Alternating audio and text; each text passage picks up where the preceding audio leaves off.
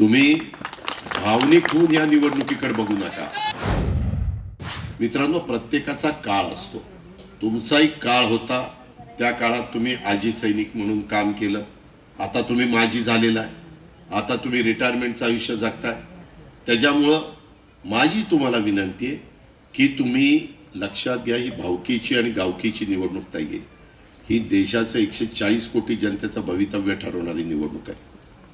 तुम्ही भावनिक होऊन या निवडणुकीकडे बघू नका. तुम्ही भावनिक होऊन या निवडणुकीकडे बघू नका.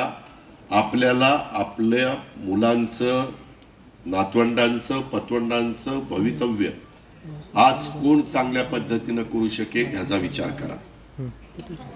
आणि हा विचार केल्यानंतर तुम्ही हाही विचार करा.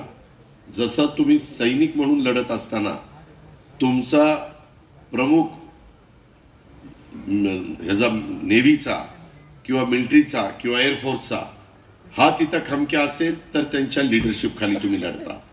त्याच पद्धतीनं आपल्या देशामध्ये एकशे चाळीस कोटी जनतेचा पण नेता मजबूत असला पाहिजे. आज आम्ही ज्यांचं समर्थन करतोय आम्ही ज्यांच्या पाठीशी उभं राहतोय ते आहेत नरेंद्र मोदी.